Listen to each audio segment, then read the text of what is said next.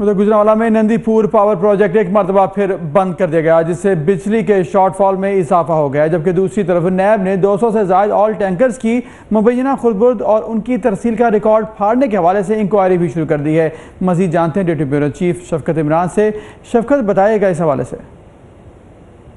بالکل نندی پور power project کو ایک مرتبہ پھر سے بند کر دیا گیا ہے یعنی کہ مینٹیننس کا کہہ کے اوور آلنگ کا کہہ کے اب دوبارہ سے یہ بند ہے۔ یہ پچھلے کئی سالوں میں یہی کھیل کھیلا جا رہا ہے۔ جب سے یہ شروع ہوا ہے منصوبہ، اس نے پانچ سو پچیس میگا واٹ بجلی پیدا کرنی تھی۔ اس کی چاروں ٹربائن چلنے کے باوجود یہ اس منصوبے سے صرف اور صرف تین سو ترپن میگا واٹ بجلی پیدا ہو سکی۔ مسلم لیگ نون کی حکومت جب آئی تھی، آتے ہی اس نے اس پروجیکٹ کو چلانے کے حوالے سے بہت بڑے دعوے کیے تھے۔ بلند و باغ دعوے کیے گئے، اربوں روپے اس پر خرچ بھی کر دیے گئے۔ لیکن آج کے دن تک یہ پروجیکٹ پانچ سو پچیس میگا واٹ بجلی پیدا نہیں کر سکا۔ بڑی خبر یہ ہے کہ جب اس کو دو سے ڈھائی سال تک جو ہے وہ اس کی آئل پر اس کو چلایا جاتا رہا، اس آئل کی ترسیل کا ریکارڈ بھی جلایا گیا۔ نیب حکام نے اس حوالے سے بہت بڑی انکوائری شروع کر دی ہے۔ تمام آئل کی ترسیل کا ریکارڈ جو ہے وہ وہ مانگ لیا اس کے علاوہ تمام افسران کو طلب کر لیے اس حوالے سے جو ہے ایک بہت بڑی کرپشن سامنے آنے کا امکان ہے۔ لیکن مسلم لیگ نون کی حکومت اس پروجیکٹ سے جو ہے وہ پانچ سو پچیس میگا واٹ بجلی پیدا نہیں کر سکی۔ ہوئی اگر تو صرف اور صرف تین سو ترپن میگا واٹ ہوئی ہے۔ نیب حکام اس کے حوالے سے بہت بڑی